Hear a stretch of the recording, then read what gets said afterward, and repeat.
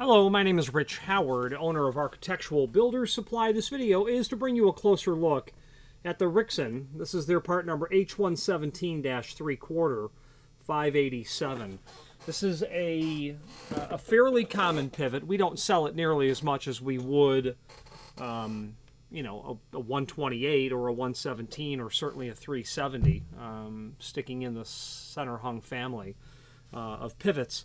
Uh, but every once in a while, someone needs a pivot that's going to swing a real big hammer, meaning it's going to carry a lot of weight.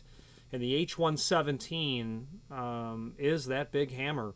There are there, there's one H117. Uh, there's two different ways to do it in terms of the arm. There's the uh, uh, end load arm, which is common, and then the side load arm. This is a side load arm. Very typical, easy to understand difference of why you would use one over the other, and we'll discuss that. First, let's just go over some basic dimensional properties. We'll talk about why, why you would use it, where you would use it. We're going to do a fairly deep dive into the installation instructions, the template, the cut sheet. We're going to do a painfully deep dive into the radius that it, uh, the instructions say that you need. Um, and then we're going to uh, wrap it up. So let's get started. Some basic dimensional properties for the H117. Uh, the width of the plate, or of the body itself, about five and a quarter. Its, its length is about five inch. The spindle from the plate itself looks like it's about, and these dimensions aren't really anything, any reason uh, to pay too much attention to. I'm just putting the size of this into some sort of context. About two and a half inch. Um, it has these uh, lugs that are here on the bottom. I see that they've changed this design. These used to be curved in the past. I can't explain why they're not curved anymore, but we'll talk more about that. Real heavy spindle here that is probably every bit of half inch. Every bit of. Yeah, it's 5 eighths. It's way more than that. It's, it's 11 sixteenths. Um, really large spindle. And this model also features a thrust bearing, and that thrust bearing um, is meant for periodontally axial loads where you're not going to have any torque, but it's going to carry a lot of weight in that sort of axial um, movement or, or, or direction, I suppose. That spindle is 0.6 eight eight by point six nine two. So basically, basically 11 16 square. Um, this little rubber cap down here just keeps that clean. Okay, uh, let's look at the rest of the items uh, in the box, and then we'll we'll dive into the um, why you'll use it. This is the arm. The arm itself is fairly heavy. This entire unit, I don't know the weight of this unit, but I'm, i will um, add that information. About 9 inch in length on the arm. The overall height, about an inch and a half. The thickness is about an inch and uh, 3 eighths. Substantial arm here. This is the side load arm. We're going to talk about that in a moment. The end load arm would have the cap back here and the screws or the machine screws to hold it on. Um, typical difference for this, easily explained. The next thing of importance would be the top pivot. This is an H340 top pivot. This is the component that goes into the header, and there's a uh, finished plate for this. Then this is the arm uh, that goes into the top of the door. Let's put a couple of basic dimension pro uh, properties on this. This is going to be the type of uh, pivot, walking beam pivot, where you're uh, able to put your screwdriver in there and draw that pivot pin back up and in, and I'll get a screwdriver and we'll demonstrate that in a moment. Overall length of the header portion, and I'm showing it without the faceplate. Okay, this unit is in a 613 oil rub bronze finish. That's what it looks like. Okay, because when you look when you look up at the header, that's what you're going to see. Okay, let's pull that aside. Now let's let's take a dimension of the faceplate about six and three quarter, about an inch and a quarter. Um, let's grab that screwdriver and let's show you how that is uh, is done. Customers will call and say, I have no idea how to get this pivot out of here. Overall length of the door portion, seven and a quarter. the width about an inch and a quarter or so. And um, yes, I remember the first time I was studying it, and I said, "Well, it's not magic. it has to come out somehow." So let's let's take a look at that. So the question is how you retract that pin, and all it is is that screwdriver. And as I turn that, you can see I'm drawing the, the pin up. Okay, so whenever you're servicing the door or you're doing initial installation, it's simply what it is. So the pivot will be in the floor, the door will be brought in and set down on top of that pivot. Your pin is retracted up into the housing. You get the door in place. This is a two-person job. Who knows how many people uh, on a pivot that will carry a thousand-pound load. Um, but I've serviced floor closers, and it's it's two people. You've got a big pivot up there. So get the door in place, start drawing that pin down. That pin is going to get drawn into the top of the door here, and that's how you'll secure it. Um, to complete our visual tour, let's take a look at the finish plate for the uh, bottom end. Overall length, about six and a quarter, six and five sixteenths.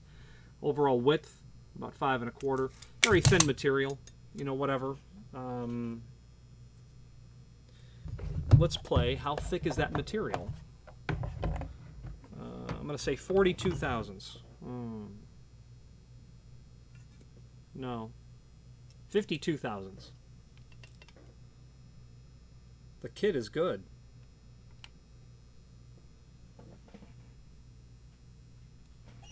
Uh, am I cheating? No.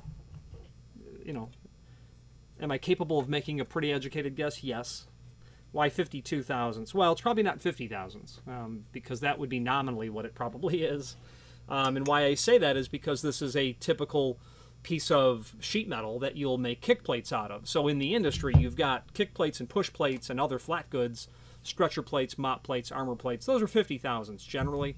Why wouldn't they use the same material that they would make a kick plate out of for a face plate? Probably would. I mentioned that there's a thrust bearing. There's a thrust bearing and a shim, actually. Um, in the world of pivots, you don't get a lot of um, options when it comes to adjustment. That spacer, they call it, that gets dropped down there. And then your thrust bearing. Could you put more spacers under there? You could, um, but you know, a lot of people will shy away from such pivots because uh, of how absolute the dimensions require that you be when you are installing the material. Not only in the net height of the door, which is easily determined, not only in the width of the door, which we'll go into in excruciating detail in a moment, but but in the um, vertical axis of pivoting. That line has to be completely uh, true plumb level and square. You've got to have a plumb bob drop down, and wherever your top pivot pin is, it has to be right through the center of the bottom uh, spindle. That ha- that that is an that's absolute. That that must be the case. So people will shy away from pivots in that regard. The need for a spacer, I think you'll end up seeing that you'll have over time, maybe a little bit of movement in the jamb or maybe in the you know a micro amount of movement and something just stretching out. A spacer is okay to lift that door up a little bit, and occasionally you'll see that as well. And spacers also are encountered when you have a door, and this will obviously double act, but when the door is set in the closed position, your clearance is nice. You have a, you know, 7 16ths clearance under the door. It's beautiful. Well, when you open the door, now all of a sudden that floor might do this. Okay? And that doesn't work because now you're hitting the floor out here, which you didn't anticipate originally. So you might use a spacer for that. Um, and then the only things that are left, you'll get a decorative cap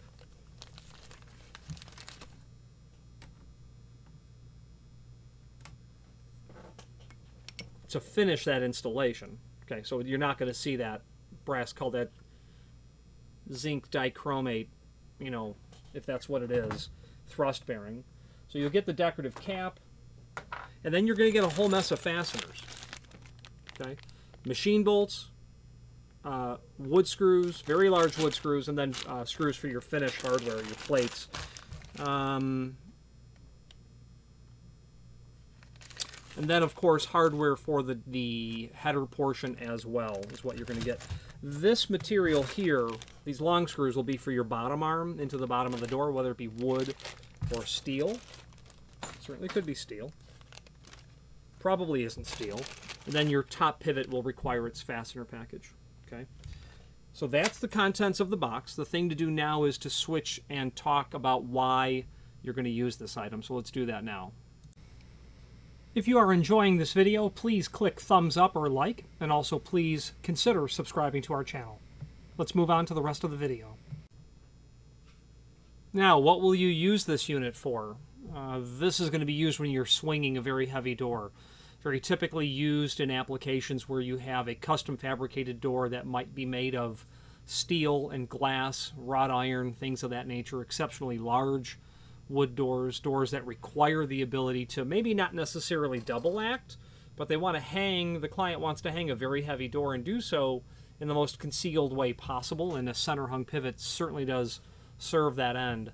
But a thousand pound door is really where you're going to be dealing with something that's probably custom made. You know, there aren't particle board doors that you can build large enough that will weigh a thousand pounds. There aren't steel doors that will end up weighing a thousand pounds. Um, you know, a, a, a very large lead-lined wood door will certainly get into that range, but you're very likely not going to be using a center-hung pivot for a lead-lined opening at all. Um, so that sort of application. The door you've got, every time someone orders this, it's something custom. This client, uh, they have built a, I'll tell you what it is. What this client has done is they have built a uh, safe room. Uh, they've built a bookcase to make it look like it's a bookcase. Uh, the bookcase happens to have a secret. It opens. Well, if a bookcase is going to be a bookcase, let's say the structure itself is 100 pounds or 125 pounds. You throw about 70 hardback novels onto it, now you're dealing with a different weight of the animal itself. So they want this thing to operate as a normal bookcase, but they need it to be able to swing not uncommon at all. Lots of additional information that you need to take into account when you're dealing with a center hung, when you're swinging something very deep. Um, there is, and I'll, I'll mention it and I'll show it later on the screen view if I don't forget.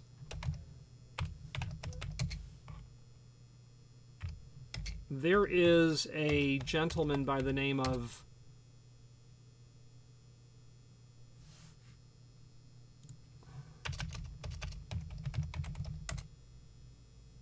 Gary Katz, G A R Y K A T Z. And he has, I think it's GaryKatz.com. He has a hidden pivot bookcase door. Um, you would call it a blog. It's a very long and detailed, extremely well done how to uh, go about using a center hung pivot and, and, I'm looking at it. I'll show it to you. I, I, I surely won't forget how to go about using this uh, sort of hardware when you're going to be hanging something very odd like a bookcase. Okay, really cool. So an H117 could be an appropriate item for that. I think mostly people are going to use an H, uh, pardon me, a 370 because that's a 500 pound load, and most people are saying, well, you know, is it really going to be 500 pounds? Probably not. Um, just depends on what you're going to use it for, how big it is, and what you're going to put into it, I suppose. Very well done. He goes on at length and talks about this material. Okay, so very heavy door is what you're going to use it for, uh, most definitely. Let's go over the description of the item itself when it comes to its extended description. So this is for interior or exterior doors, weight to a thousand pounds. Rixson says that the door size uh, is limited to four foot by eight foot six. I'm very aware of clients using this pivot hardware and others, especially the 370 because it's so common. Uh, the 370 is the 500 pound weight limit version of uh, a center hung pivot by Rixson on doors that are 5 foot, 10 foot, all kinds of stuff. They will very routinely move the pivot point over towards the center of the door or towards the lock edge of the door um, when you have very wide doors, like a five foot door, California, Pacific Coast, lots of five foot doors, center hung pivots. They've moved it into the opening 18 inch. So the client will say, Well, my door is five foot. They're saying four foot's the maximum. Will this work? What's the weight? Well, probably about 280 pounds. Absolutely, it's going to work. You're moving that pivot point over. Okay. Plus, the pivot can handle 500 pounds um, for four foot, and you're moving that pivot point over. It's going to be fine, and it is every time. So, and it's non-handed. Being a center hung pivot, you know, it's just simply going to double act. Now, it doesn't self-center. It's not a center uh, hung floor closer, so it's just a piece of hardware that will swing in and out. The H340 is indeed that pivot that's included. There's also an H345 top pivot that, speaking of California, you might require because it has a longer top pin. More top pin means more engagement in the portion that's in the door itself, meaning uh, a safer environment in an earthquake where the where that rectangle is now a parallelogram. They want that door to stay in the opening and not fall out if the house goes like this. Um, that's what the H345 would be used for. Uh, if you needed it, you could certainly upgrade the H117 3 quarter 587 H340 to go to the 345. Not a problem. The bottom pivot is mortised into the floor, and um, and I'm just tackling these bullet points. So I've had a customer call and order this and say, yeah, you know, I got that pivot, and this was a long many years ago. I, I received the pivot, pivot, but what are these? Are these like shipping spacers? What are these things that are on the bottom here? And I looked at the installation instructions and I said, well, they, they clearly call for grout. Let's back up. I had mentioned earlier that this design had changed. Well, the prior design, and I think the installation instructions still show it, they're curved. The client called and says there's shipping damage. These spacers that were there um, are bent all four of them, he said, are bent. And I says, that's crazy. I, I was not at that moment aware of what the role of those were. I investigated it. I called Rixson and they said, I had a very enlightening conversation. They said that pivot is not screwed to the floor. That pivot is only installed when it's set in a bed of concrete. And I said, aha, I don't think the client was anticipating that requirement. Um, and I said, what if he were to, what if the client were to remove the concrete lugs and screw it down? And the tech support gentleman said,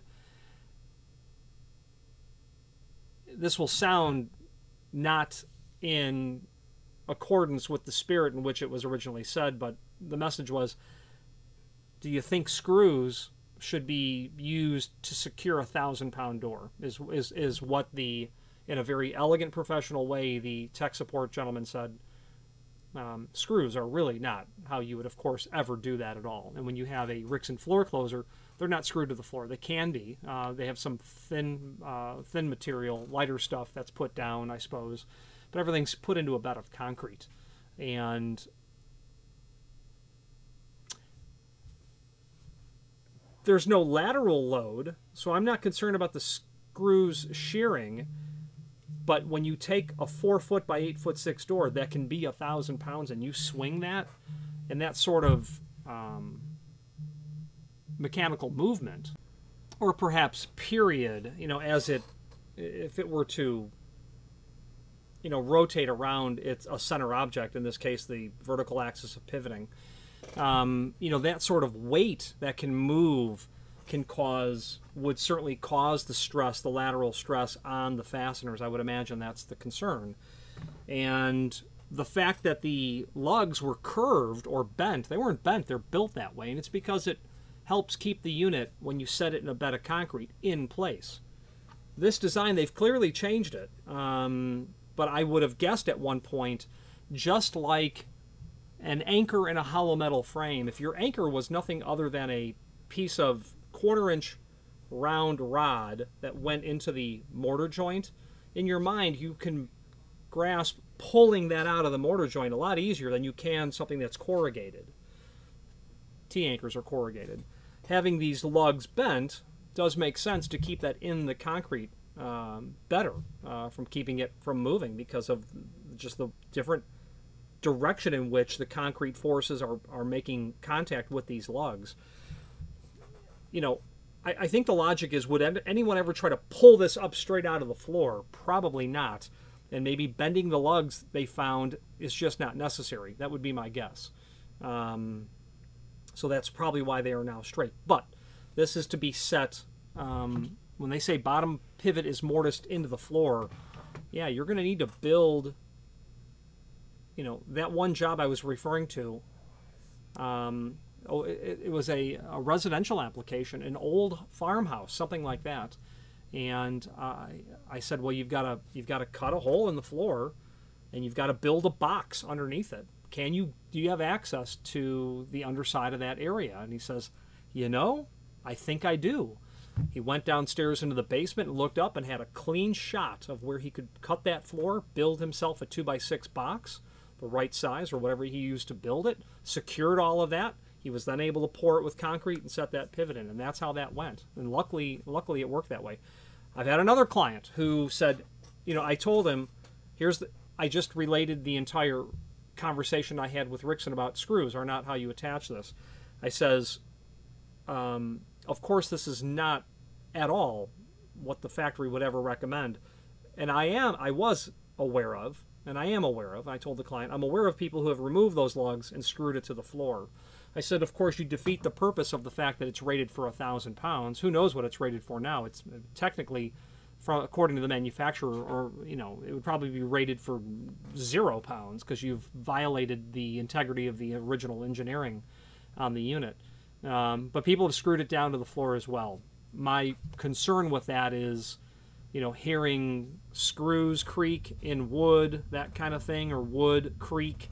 You know, um, I had someone that I was um, very involved with, uh, and they were doing a project, leading a project where there was a double acting door in a restaurant kitchen. And a stave lumber core door was used because that door took a beating all the time, and the logic was stave lumber core is going to be better for that application. Okay, great. Um, stave lumber core is like butcher block. It's pieces of wood that are edge glued together.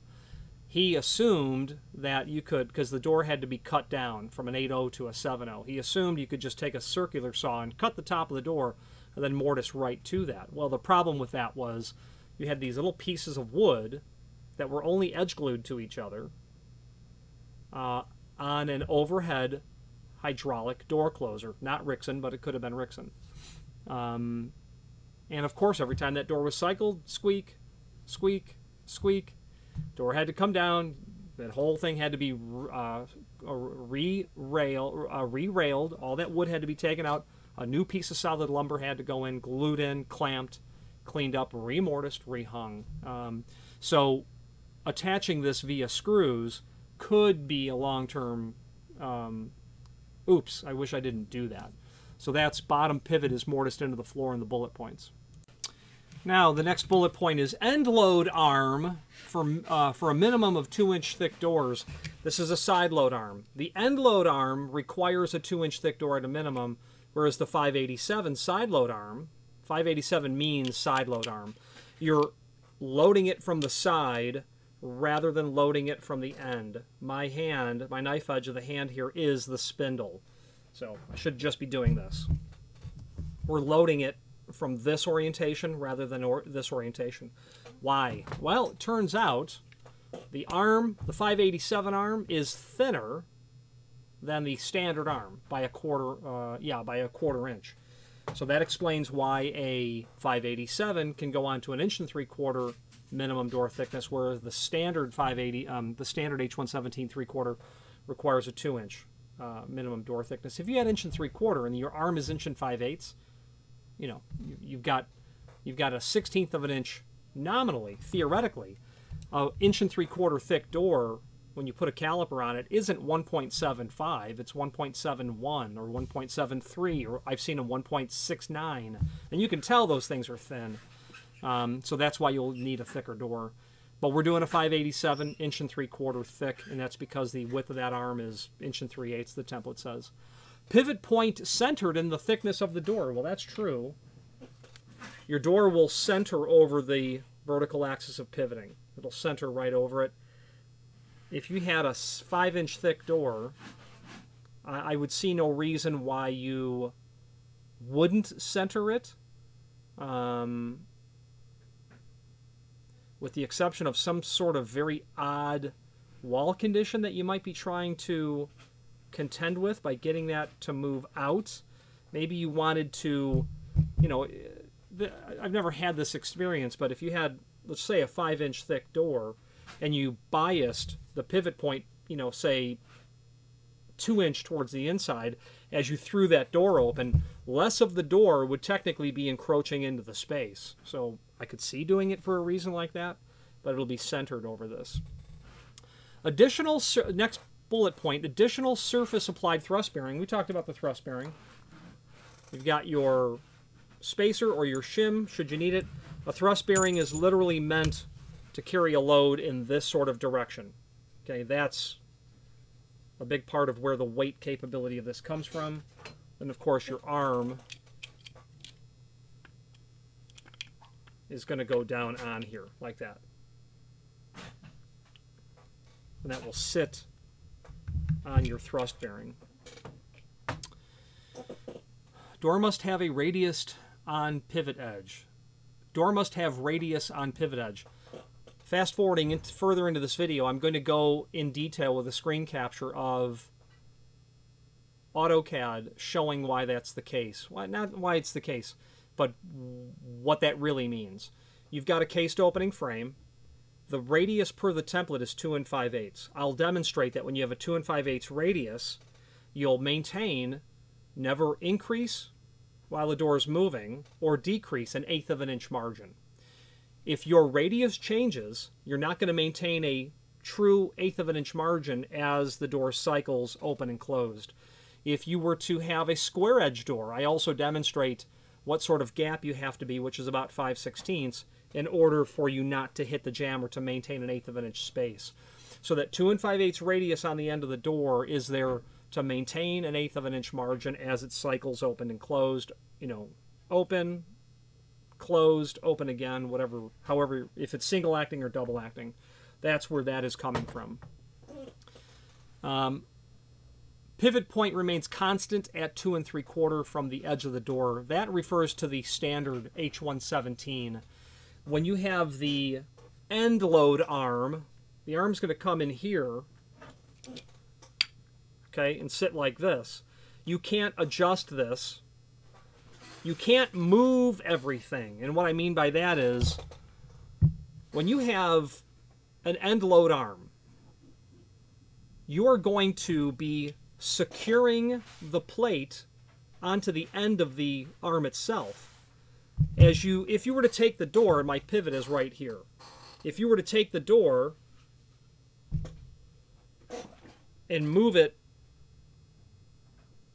and move it way over so you're not at two and three quarter from the jamb to the center line, but now you're 18 and three quarter, you would need to route the bottom of the door so that you could get from the heel edge of the door all the way down there to secure these plates because they're on the side.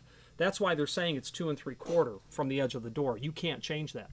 Well, let's say you are saying, well, I don't really want to mortise a channel in the entire door, and then you use a super long aircraft length screwdriver to tighten that up, uh, you go with the 587 arm. The upside of that is you can easily move that door in relation to the vertical axis of pivoting. The downside of that is you have to make accommodation to get to this plate. You're going to have to notch the face of the door. There is not an elegant solution that Rixson offers for that. You're going to need to come up with a cover plate. Maybe a piece of 50 thousandths that has a couple of holes in it and you attach it. Maybe you are literally um, it's a wood door and you're literally going to take a block and you're going to you know maybe be able to route it with a panel bit sort of profile and get it stuck up there maybe a little dab of glue you always know it's there you can pull it off should you need to you need to have some sort of decorative cover over that. Um, is simply the bottom line because you're not going to be able to on an inch and three quarter thick door be able to get a tool up in here and get that rotated um, at all, is the bottom line. So you'll need to have a cover for the 587 arm. Uh, pivot set features seal bearings for protection against weather and debris. Yeah, I mean, all of this is going to be sealed. That's down here. That cap is there. You're going to have that decorative cap over there. And it's meant for interior or exterior use, is the bottom line. So this is all, this assembly is all sealed. Not allowed for use on labeled doors and frames. Absolutely not. This is not a fire rated product. This is not listed. This is not labeled. It's not for use on fire doors. Um, the very nature of a cased opening frame, of course, would violate the principle of a fire rated door without there being a stop. Furnished with wood and machine screws. We demonstrated that earlier. Really long screws, whether regardless of what you're going into. Optional uh, spindle length. They can increase that a half of an inch up to two inch, longer than standard. So this spindle is inch and 7 sixteenths. If you recall the thickness of our arm, voila, just heavy on that. Not, not really, it's the same size. Why in the world would you need an extended spindle? Well, that's really because you have an unusual floor condition where you're going to drop this down below and flooring is going to come over this and it's going to gobble up some of the space here and you need, literally need a longer spindle in order to be able to get that to reach up into the door. You've got an unusual, uh, I would say clearance. You have an unusual clearance because the finished floor hasn't gone in. Once the finished floor goes in, then you'll have a standard clearance. Um, obviously they're going to have to build that thrust bearing up off the floor so that you're sitting on top of this. Uh, not a, not not common to extended spindle, but you know the contractor will call and say I need a pivot for this location. Great, but I think I got a I think I'll have a problem though with the length of the you know I I got I have to what, what they're saying is I have to sink this down into the floor. And we talk about it. Oh, you're adding flooring after the fact. Sure. How thick is the flooring? Yes. Let's extend the spindle uh, to get you um, so that you come back to the clearance underside of the door to the top of the finished floor of what it needs to be otherwise. The H117 3 quarter particular with the 587. It's a special side load arm for inch and three quarter thick doors. Okay, it's a thinner arm, bottom arm as we demonstrated, or for moving the pivot. So if you want to, as I said earlier, if you want to move that door in relationship to the vertical axis of pivoting, you want to move that door, you'd use the 587 arm. I suspect that's what the client is doing here uh, with this. Or they have an inch and three quarter thick door.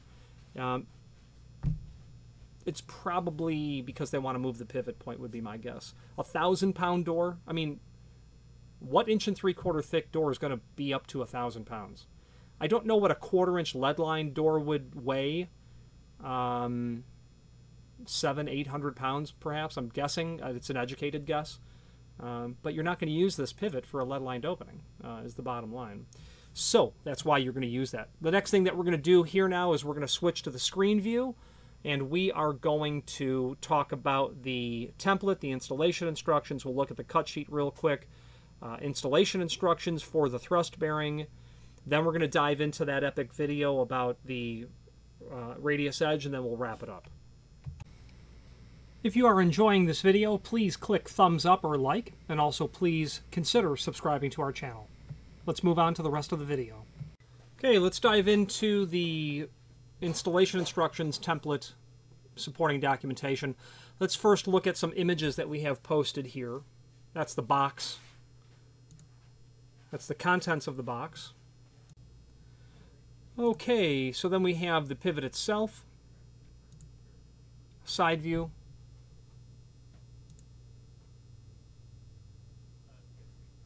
your finish plate is going to go here, backside, underside, close-up view of that cap for no particular reason. That's your 587 arm top view or bottom view. This arm can be flipped over. Side view. Showing that preparation for the spindle in your plate. Now, if this was an end view, uh, an end load arm, it would not only be wider, but that this would be solid and it would be open in here. And it obviously has to be wider so they can get screws attached to it. That would certainly be why. That's your top pivot. Your door portion, your header portion. I've had people send me details of projects where they're doing center hung pivots and they send me the plans and I'm looking at the at the uh, at the plans and realizing yeah they just have drywall cased opening frames and I ask the client how, how do you expect to be able to attach the top pivot to drywall? Oh we'll make it work.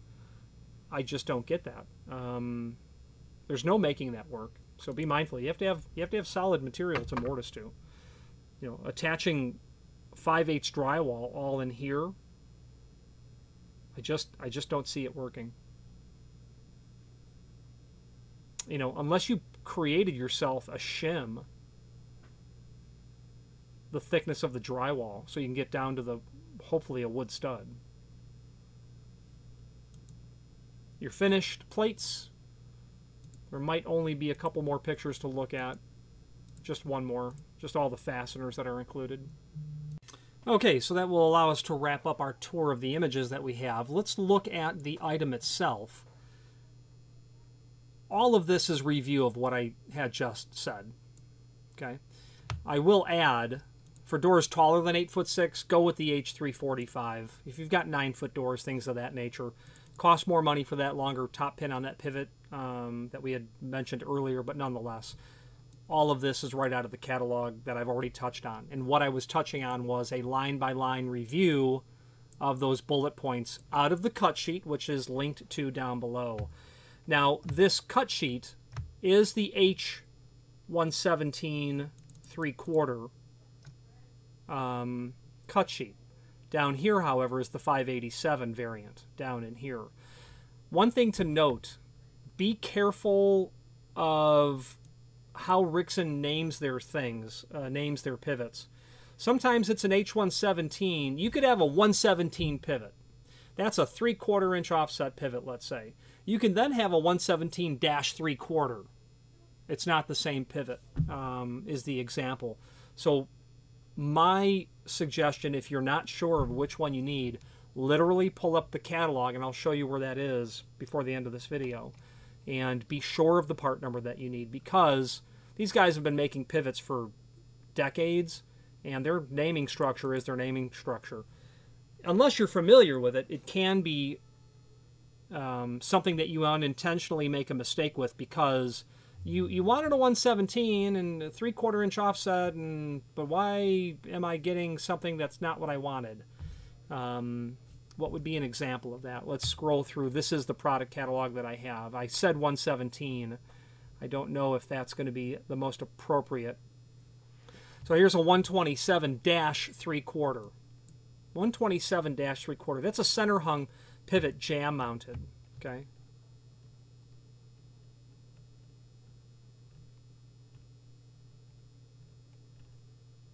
Scrolling through the intermediate pivots to get to the offset pivots.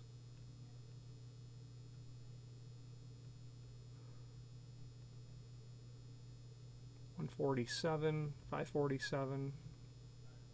And then in our offset pivot area, we have, um, you know, the 117 that's here.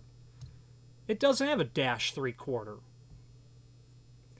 The reason three quarter is important is because that's the typical offset, three quarter inch from the face of the door to the center of the pivot.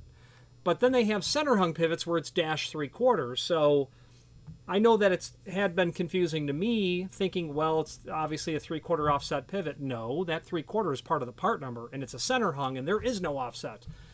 So, word of the wise, just be mindful of what you're dealing with, um, and refer to the catalog and to your other resources available to you, to you, such as us and obviously the factory. So the H117, I want to draw your attention to, they show on the standard arm it's inch and 5 eighths. And when we look at the 587 arm, you can see it's inch and 3 eighths. That's why one is okay for inch and 3 quarters, the 587 arm, and the other's not. That's the bottom line. So all of this is right out of um, the catalog. This is the cut sheet. These are the bullet points we went over. Now, uh, these are instructions. Let's look at the template first.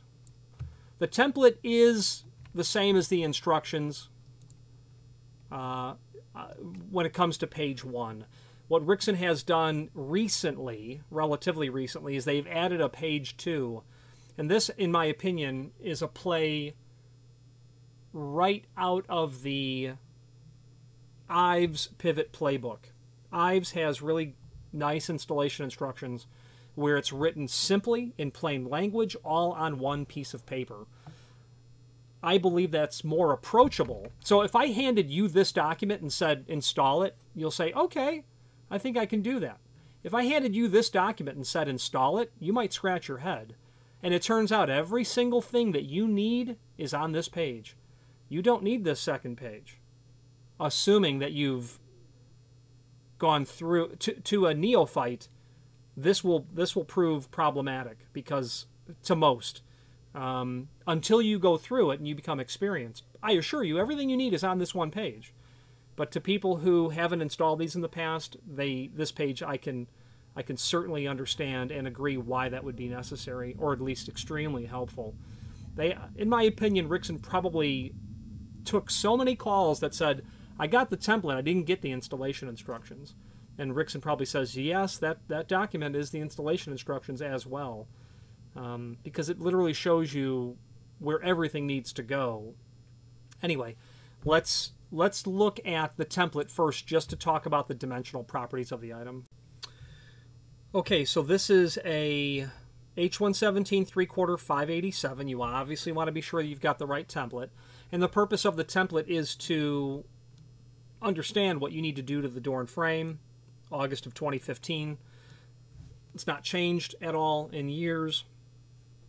So having all of these dimensions here is in many instances simply not necessary that all of these dimensions are here do you really need to know the location of the screws center to center to each of them?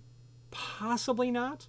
If you're a hollow metal shop, though, you have to know because you're, you're creating a reinforcement, a drilled and tapped, welded in reinforcement for that. So, yes, you need all of that data just to focus in on what they're showing us. If you're doing woodworking, um, you're probably going to be using the hardware itself to template off of, uh, but nonetheless, this gives you everything. This start, uh, this begins to show us that radius and a note 5. The notes are always important when it comes to pivots. Note 5. Door must have removable panel to allow tightening of arm by others. Panel must be on inside of door and go from top of arm, arm to bottom of arm. So what they're saying is you're going to need to have, it's easier to look at it here in elevation, you're going to need to have a removable panel that's going to allow you to pop that out so the entire securing block can come out, is what they're saying. So, note 5, all of these other dimensions you can stare at um, and, and pull from as needed. Let's stick with the bottom arm. Shows us dimensions of the arm itself. I'm not going to go over that again. It's all there. Okay, let's continue moving on. Um, now, showing it as to what it somewhat looks like when it's installed onto or in relationship to the bottom portion. This drawing begins to put things into context, I suppose. Uh, now, here is where the business end starts coming together. Um, the question is, is where do I prep for this? Well, we know for sure, because the catalog tells us, that it's two and three quarter inch, and the template tells us, from the cased opening frame to the vertical axis of pivoting. That's super important. That's what you have to know. That is based on the 2 and 5 eighths radius that's going to be here. If you're not going to radius the edge of the door, this dimension needs to be increased because that outside corner is going to hit the jamb. In fact, it's going to breach into the frame by 3 32nd of an inch. So the, the part of the video that will come after this will show, will demonstrate that. But for this part, we're assuming you're putting a 2 and 5 eighths radius on there. So two and five eighths radius. So meaning because it's an eighth of an inch here, and and we know it's two and five eighths radius from the center here. If we use that as our radius for our circle, a two and five eighths radius, that has to be eighth of an inch. So two and three quarter from the jamb to the center line. We know the length, the width of our arm. We know how to prep for that. This portion tells us how deep to prep for it. Okay, They're clearly showing us a 3 16ths clearance from the bottom of the door to the floor, finished floor. That's called clearance. If you were to modify that at all, um, decreasing it, you're probably not going to squeeze much more out of it. If you were to need to increase that, you would have to correspondingly mortise your door less deeply Okay, so if you if you were stuck with a 7 16 clearance, that's going to have to be inch and a quarter, and you can do that. Now in other pivots, they have um, docu- they have a note that calls that out. Um, but just be mindful; you'll see more of the uh, of the sleeve that covers the thrust bearing. Okay, so you can you know if you were if you were in a position where you wanted the arm to be flush with the bottom of the door. We know it's inch and a half tall. We know that they're showing us 3 sixteenths. We know that the bottom of the arm to that is 1 inch, so 1 inch minus 3 sixteenths is 13 sixteenths. Okay? Um, you're able to then, you know, in reverse fashion, figure out this dimension, 13 sixteenths. So you would then take that off of this dimension. So inch and a half minus 13 sixteenths is going to be um, 11 sixteenths. 5 eighths, yeah, 11 sixteenths. So your mortise step should be that dimension if you were going to flush this. Actually, let's take a closer, uh, closer look at that. So this arm, yeah, the arm is inch and a half as they're calling out. And if you were to flush it to the bottom of the door, that's how you would work the math. And that is what I was driving at earlier that everything you need is here. There are times you just have to back into it by adding or subtracting. Uh, same logic with what you have to do at the top of the door and at the header. Well, they give us all of the dimensional properties. That's your jamb, your header portion. They're showing us in elevation what you have to do uh, to, to get the door portion and the header portion mortised. You know the dimensions of the unit. They give that to you on the template for both the header portion and the door portion. You have to absolutely observe the two and three quarter dimension from the vertical axis of pivoting from the jamb to that center line so that when you drop a plumb, a plumb bob down the door, it's two and three quarter. It would be nice if they showed the header portion on top of the on top of the bottom portion. It'd be two and three quarter, an imaginary plumb bob. And that's everything. Now, what are they showing us here? Arm preparation, arm mortise preparation. Okay, just additional information. What that floor plate's going to look like, the thickness of the uh, of that preparation as well. Let's see. We know the plate size. six and five sixteenths, five and five thirty seconds. They don't give us the thickness that I see, but we measured that earlier at 50 thousandths. Okay, now notes. You always want to read the notes. They, oh, they usually don't all apply. Don't scale the drawing. Dimensions given in inches with millimeters in parentheses. Suitable reinforcing by others, absolutely. The door is going to have to be prepped for this. If you're putting this into a wood door, and I was called to a job site recently, and it was a Rixson floor closer, and every time the door opened and closed, it creaked, just like our prior example. Well, what the inst original installer did was he took a Rixson, it could have been a 25, it may have been a 20, probably a 27, and mortised that arm directly to the bottom of a architectural flush wood door that was a particle board and had mostly mortised through the lumber, the rail at the bottom of the door. Well, it was the it was the particle board. It was the movement of the wood that was causing the creaking. The bottom line is, if you're going to install this into a wood door, this needs to be solid lumber. you know, if you're building a stile and rail door, great, solid lumber, no veneer over particle board or MDF. That's not going to work. Um, and if it's a custom wrought iron, steel, steel and glass, hollow metal, got to be properly reinforced. So in this scenario, the bottom of the door is going to have a very large welded reinforcement in here. You know, I don't know how it would be shaped from the factory. I'm not an expert when it comes to manufacturing in a hollow metal environment, but a very thick piece of steel will have to be here. I am I am curious that they don't recommend a minimum thickness of reinforcement though. I would be thinking you're dealing with at least a quarter inch thick reinforcement because all of the weight is sitting on that plate. Rixson design threshold available upon request. Yes, Rixson can make custom. Rixson's sister company, Pemko, can make custom uh, thresholds to fit over uh, pivots, floor closers. Door must have removable panel. We read note 5 already. Drill and, uh, note 6, drill and tap 832 machine screw. Uh, note 6, I thought I saw it over here.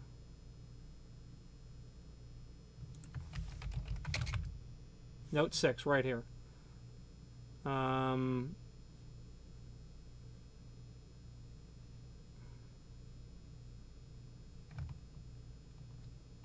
note 6. Drill and tap for 832 machine screw, centered. Screw by others.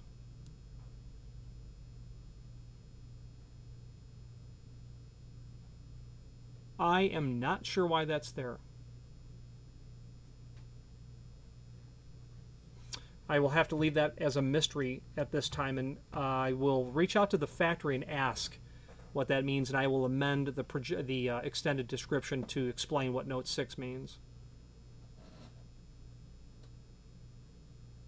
That simply might be a holdover from the H134, the H117 three-quarter without the 587 arm.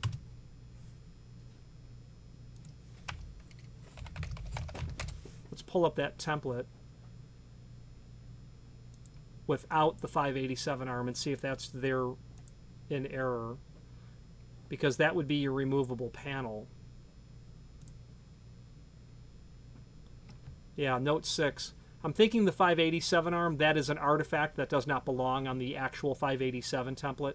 I'm going to leave that as a curiosity at this point, uh, as solved. So I would say that that Note 6 does not need to be there for the 587 arm. Now, that's the template. Let's move over to the installation instructions. Page 1 is the same. Locate the pivot. Obviously, 2 and 3 quarter plumb bob drop down from the header, and that's going to allow you to locate where you've got to position that. Once you've created your box, the prep in the floor, whatever it is, poured concrete, most certainly, um, you get that positioned and held in place at two and three quarter. That must be observed. For floor plate application, cement case is 16th of an inch. Uh, there is no cement case with this. A cement case is a um, synthetic material box. Back in the old days, they were made of steel, and those rusted. I've seen those where they've rusted completely away. But the new the the new cement boxes are Krylak material. I don't don't quote me on the pronunciation of that, but some sort of synthetic material that's obviously non-ferrous. Uh, for threshold application, cement case is set flush with the floor. Um, you know, again, there's really not a cement case. They're obviously referring to the body of the pivot. Set cement case and floor. Set the pivot in the floor and block in position. Make sure it's exactly where it needs to be and can't move. Case should be parallel with center line of door. Cement case should be level. Grout in the bottom pivot.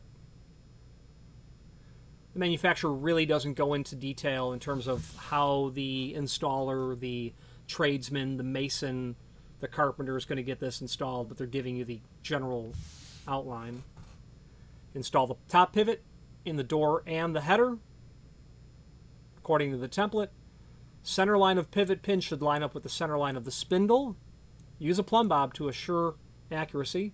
Mortise door for arm, install door and arm. Uh, yeah, we're assuming all of this is done. Mortise the arm in the bottom of the door, install it. Obviously, pre-drill your holes. These are huge screws. These are, I don't know, quarter inch. These are quarter by three, I think. Flathead wood screws. Yeah, quarter by three.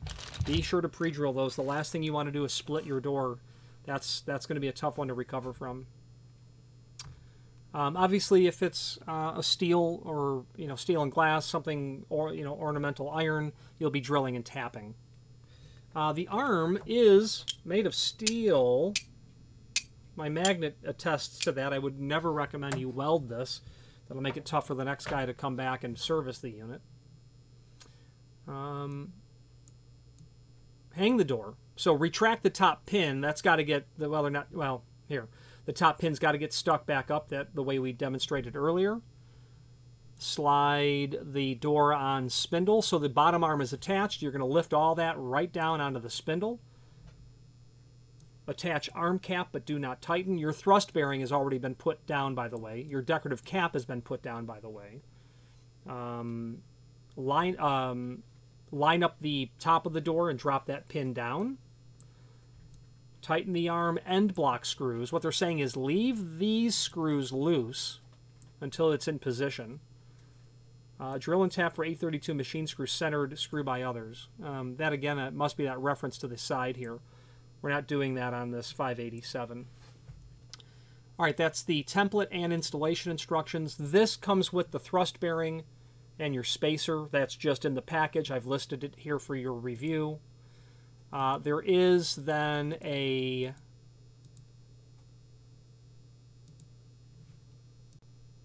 point in time here where we can assess. We've gone over all of the supporting documentation linked to with this item. Now there is, and that's the cut sheet that's linked to, there is a link below this video, as seen here, to the manufacturer's page. And when you click on that, you're going to be able to pull up not only all of the Rixson parts that we sell um, by means of this horizontal navigation as seen here, but also a link to the manufacturer's full line catalog and their website. Speaking of the full line catalog, I have one from one that's over one that is 100 years old, and I've already opened it you can click on that link, and this is what Rixson was doing in 1920. Um, a bit clunky of a file because of its size. You could save this locally and uh, look at it there. It's just interesting to be able to go back in time and see what in the world they were making. Um, here's a here's a pivot that they have, not unlike that. Uh, well, this is um, this might be a 117-1 quarter, I think is what they currently call this, and it's interesting because it's a 17 dash quarter is what this jamb-mounted offset pivot is. So it's fascinating that they basically make the same unit. And then other stuff that's here, and I probably skipped through uh, other pivots that they have. The point is, it's a it's a interesting document to be able to go back in time and take a look at. 1920 catalog. Okay, um, now let's, at this moment, go into the AutoCAD review, and then after that we'll just really wrap it up. If you are enjoying this video, please click thumbs up or like, and also please consider subscribing to our channel. Let's move on to the rest of the video. Okay, what we are doing here is we are looking at the Rixson H117 um, pivot and let's take a look at the template first. All we're really going to do here is show how the door articulates through the opening, uh, but also show what sort of minimum dimension you're going to end up achieving um, as a result of the pivot point, the radius on the edge of the door, and what that might uh, and what that dimension would be and what that same dimension might be if you left the door square edged. So let's take a stab at doing this. So we have our we have AutoCAD open here and the first thing that I know from the uh, template is that we're dealing with a two and three quarter inch dimension from the edge of the door pardon me, two and three quarter inch dimension from the jamb to the vertical axis of pivoting. Two and three quarter. Okay. And they're showing that the margin between the edge of the door and the jamb is going to be an eighth of an inch. and it's not directly spelled out, but they're telling us that we need a 2 and 5 eighths radius. So 2 and 5 eighths radius to the edge of the door is 2 and 5 eighths. So we need a we need a radius on the edge of the door at 2 and 5 eighths um, from the vertical axis of pivoting. But we also know that it's 2 and 3 quarter inch from the jamb to the vertical axis of pivoting. So 2 and 3 quarter minus 2 and 5 eighths is our eighth of an inch. Okay, so we're just going to demonstrate what that looks like. So let's take a look here. So I have a, I just have a jamb that's drawn here, and what I'm going to do is draw a line, um, and simply going to um, bring that over two and three quarter inch, and that's just really going to be my um, dimension line.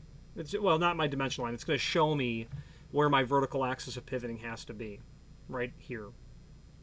So now we know that with the H117, according to the manufacturer's documentation for the H117, that the side load arm, which is the 587 arm we're working with, is designed for a inch and three quarter thick door at a minimum, inch and three quarter thick.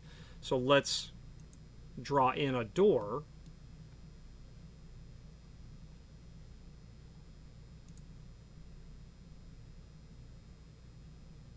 Um,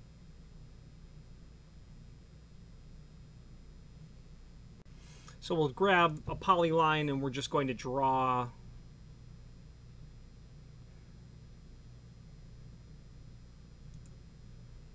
We're going to go 7 eighths up in this direction. We'll just come back, you know, five and a half like it's drawn. We're going to come down inch and three quarter. We'll come back over here, okay. five and a half. I'm to bring it right here. Now that's going to show, that's our door. So if we were to, and this margin in here, by the way, is eighth of an inch. Our dimensions,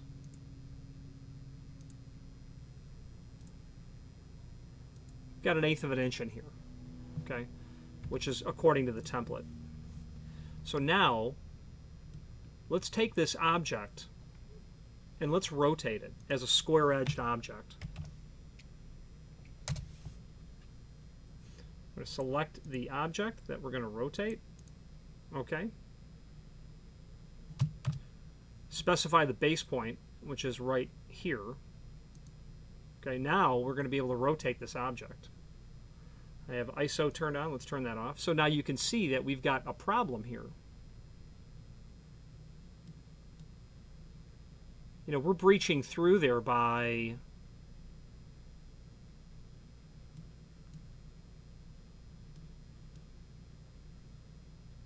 a substantial amount by a sixteenth of an inch. Even, uh, yeah, a sixteenth of an inch we're breaching through um, is what we're doing there. So that is where that, that 2 and 5 eighths radius is going to come from.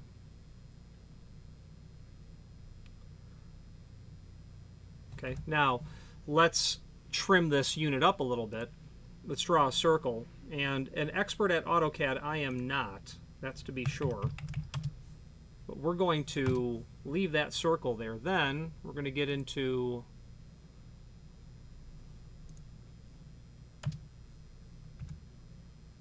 uh, trim.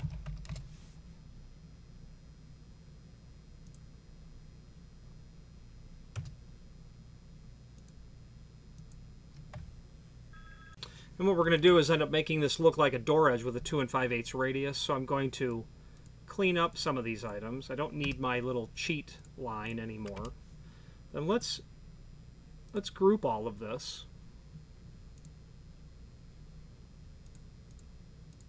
Okay, now let's get into trim. Here's trim. Let's get rid of some of these objects.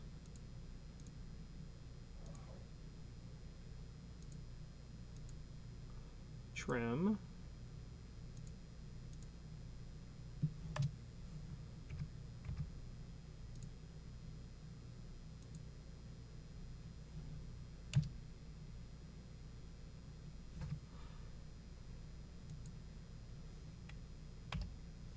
Okay.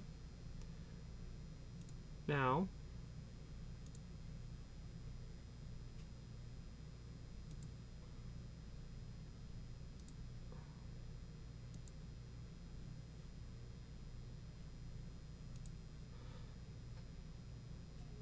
and fillet is another way um, that you can go about trimming items.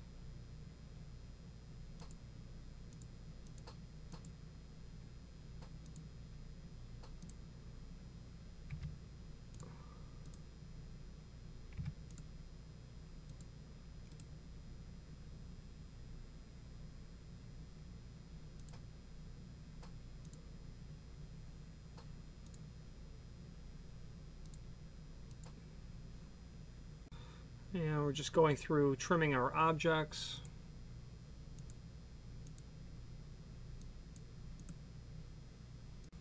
Okay, so we've got what kind of looks like a door here, I suppose. Take this and we can extend it out to make it look more like a door, I suppose. Now, the next test here is to see what that door looks like as it articulates through its opening. So I'm going to um, add back my little reference line for two and three quarter. Then we're going to rotate. We've selected our object. Actually, what I want to do is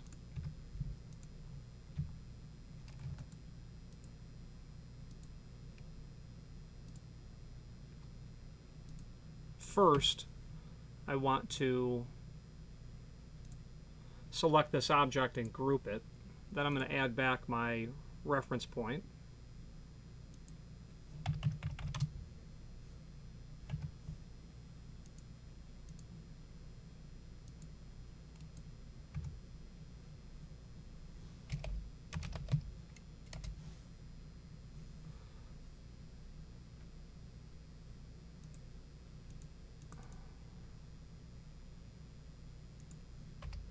Our line's a little bit small.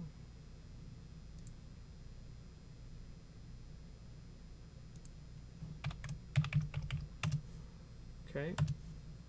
Now, let's rotate.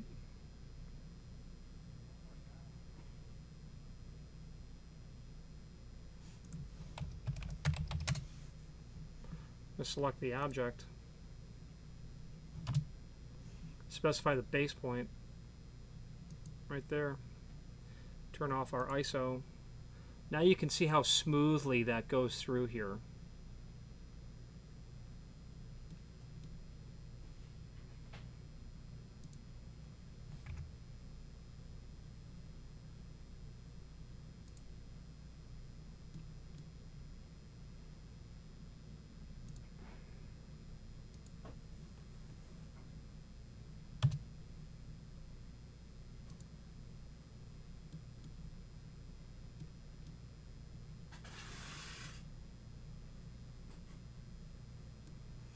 And this is obviously really helpful when you are trying to determine what sort of margin that you need. But what we're doing here is we are maintaining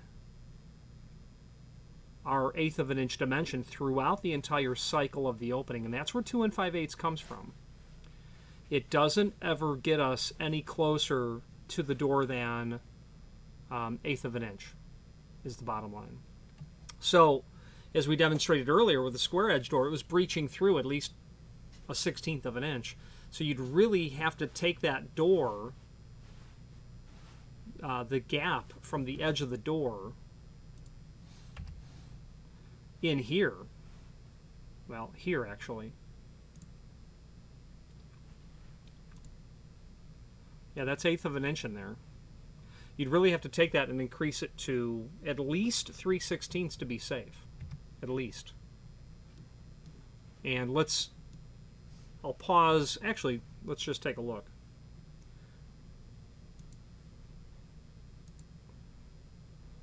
Let's remove our angle there, our uh, radius edge, and then let's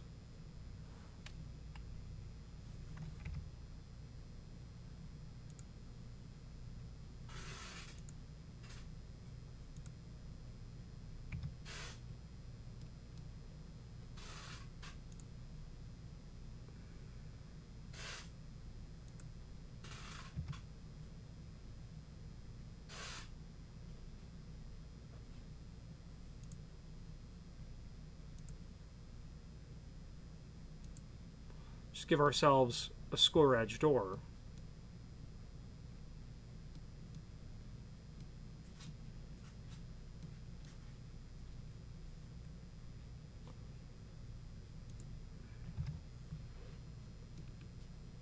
Now let's measure our distance of what we have there so that we know.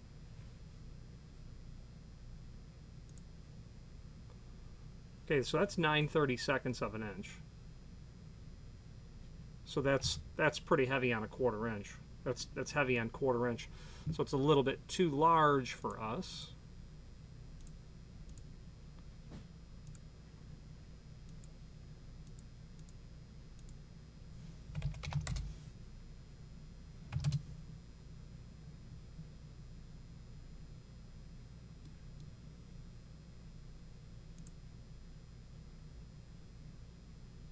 getting our door repositioned.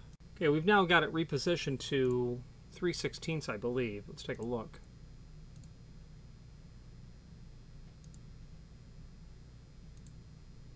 Yeah, 3 16ths. We've got a 3 16ths gap. So let's go back and let's add our, let's rotate this.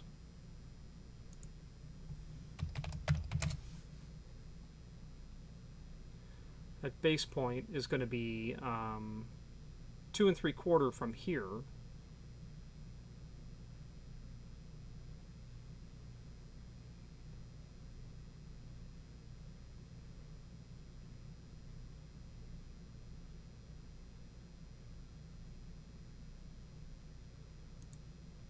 Okay, there's our base point. I was adding two, the dimension that popped up, I was adding two and three quarter to it. So you can see that at 3 16ths, you won't have trouble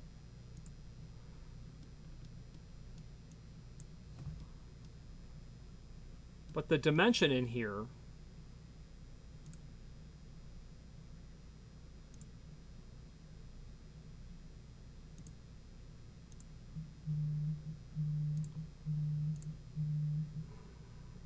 And actually what I want to do is get the door closer to 45 degrees.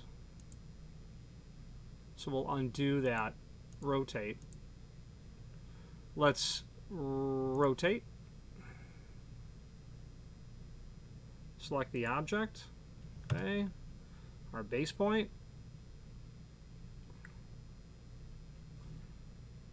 One six three eight point seven five.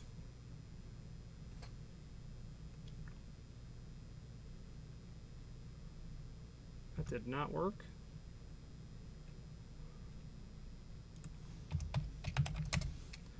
Rotate, select the object.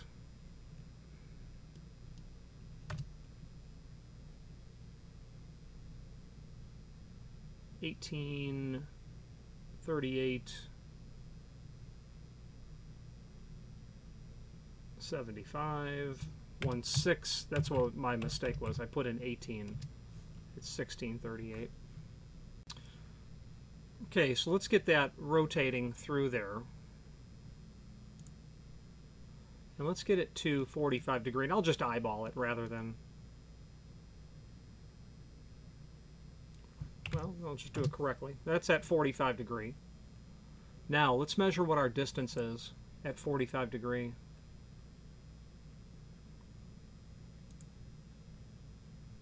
I have my snap spacing on my grid giving me a little bit of trouble. So it's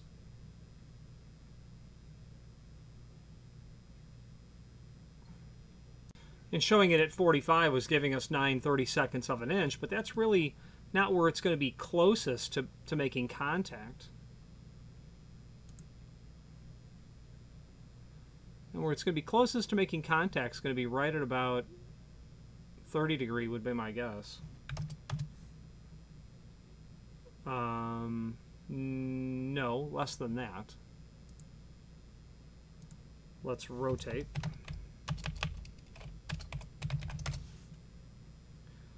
Base point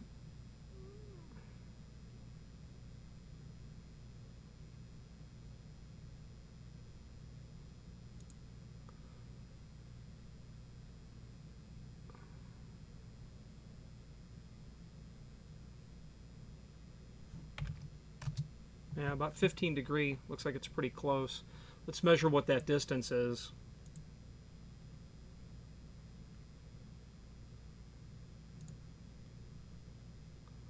Sixteenth of an inch. R really, um,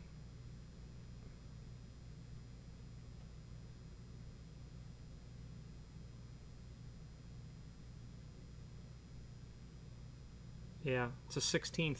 So be mindful. Um, if you're leaving a square edge door, you'll have to have a minimum of 3 16ths just to theoretically work. And it's really not going to theoretically work with only a 16th.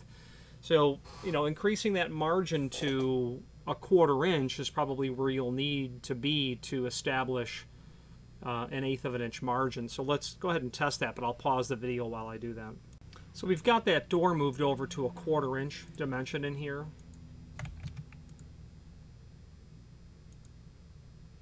Yeah, 0.25. So let's go ahead and let's rotate this. Uh, select our base point.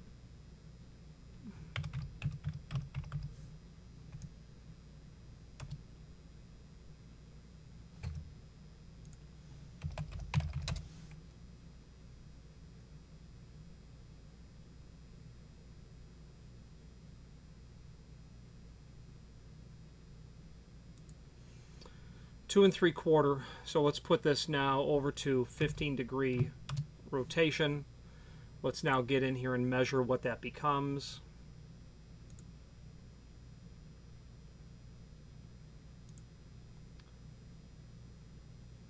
So it's 332nd now. And that's at a quarter inch margin. So let's move it to um, let's move it to 5 sixteenths and see if that'll get us to an eighth of an inch at 15 degree. Okay, we have the door moved over to 5 16ths margin. 5 16ths. Let's go ahead and rotate it now.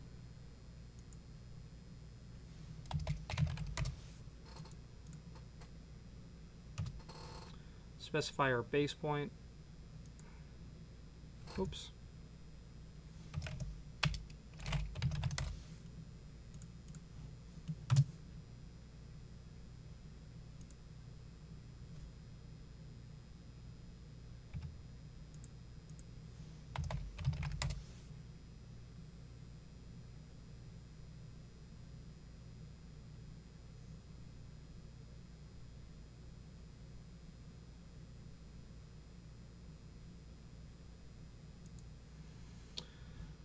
Put in our 15 degree angle. Let's zoom in and let's measure.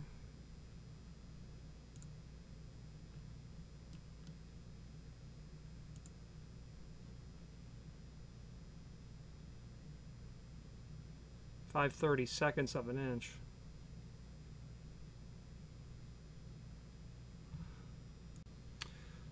So while we're, you know, increasing our margin, we're really not you know, doing it, you know, that's just a 32nd heavy on an eighth of an inch. So you can see how the gap to achieve basically an eighth of an inch needs to be 5 sixteenths of an inch here. So the bottom line is it's an eighth of an inch margin if you have a 2 and 5 eighths Um,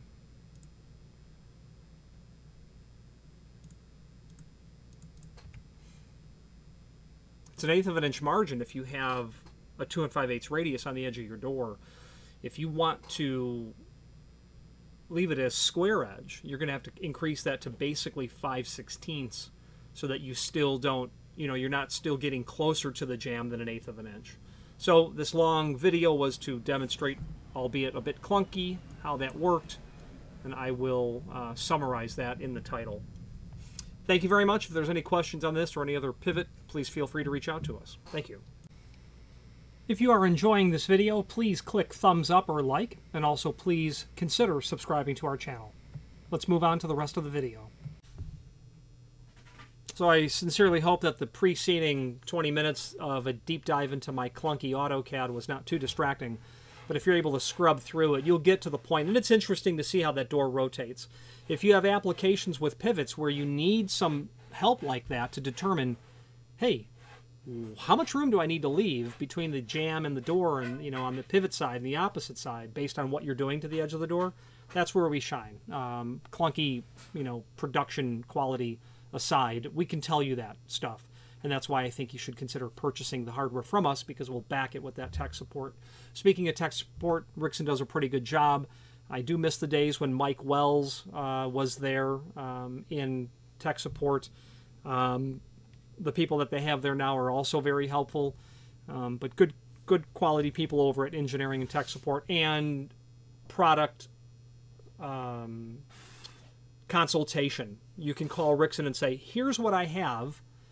What do I need?" We've done a door two years ago. This client was building two doors, and they were 2,500 pounds each. And believe it or not, Rixson makes a pivot for that, and they're amazing large contraptions, exceptionally expensive. But you go into the Rixson world because you can call them for this strange application. I don't recall where the client was using it. It may have been, you know, an 18 foot tall, 12 foot wide steel and glass structure. Uh, you need the right hardware for that, and you obviously need the right company behind the hardware for that. Plan ahead. Pivots like that are prone to excessive lead times. I think it took 12 weeks to get those two pivots in house. Plan ahead. Um, and I think it's because many pieces have to be sourced when they're building that. You know, oh, what I mean is Rixson doesn't make thrust bearings. Okay, they buy these from someone. Uh, they don't make spacers. They buy those from someone. So putting all of these parts together, um, a lot of moving parts have to be in motion for it to happen, uh, you know, smoothly. Plan ahead is the point. Rixson material in terms of pivots is something that you might probably want to consider uh, because everyone is very familiar with that brand name. Also, inventory is generally very deep when it comes to pivots, but not only pivots, obviously floor closers. Other people make floor closers, but Rixson is the name that people really know. But they make overhead stops and holders. They make electromagnetic uh, door holders that you'll see in hospitals holding doors open. They have um, overhead concealed uh, door closers. They have thin style floor closers for lighter duty applications. Uh, they can do their hardware for lead lined applications, their pivots, their floor closers. They also have um, automatic door holders that would be tied into the alarm system. Um, you know, low energy, you know, door holders uh, that will allow the doors to close upon activation from the fire panel. If you have any questions on the Rixson H117-3 quarter or any other Rixson product, please feel free to reach out to us. And thank you very much. If you are enjoying this video, please click thumbs up or like, and also please consider subscribing to our channel. Let's move on to the rest of the video. And then to finish up, I did mention earlier that we would take a look at that article by Gary Katz, and the search term I use is Gary Katz Woodwork Pivot. When I search that, hidden pivot bookcase door, Gary Katz online, and in response to the thread below from Finish Carpentry Forum, this this document is very old, uh, or I should say this post, and you know, if someone said it was 20 years old, I wouldn't I wouldn't bat an eye. It, it's likely that old. It doesn't matter its age. Its information is timeless. Um, you can also view an animated version here. That doesn't work for me. Um, that video clip.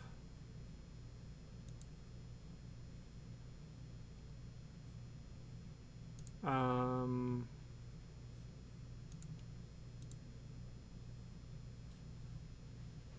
And that problem that I was having was just a file association. So I've uploaded the file to YouTube and list and it's an unlisted video. So there's the animation.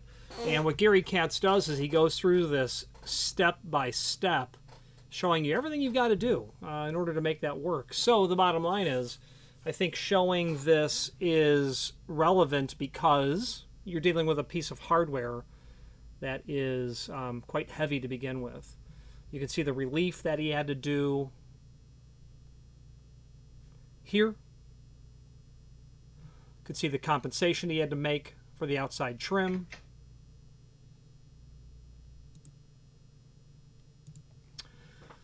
So, as you scroll through, you're going to see a step-by-step walkthrough on this. Neat.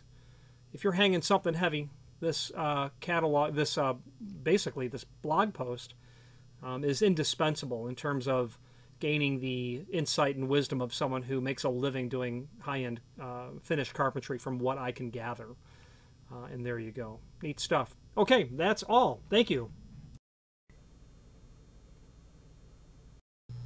Again, thank you for watching, and if you've enjoyed this video, please click thumbs up, please subscribe, and maybe even send the video to someone that you know. Thank you.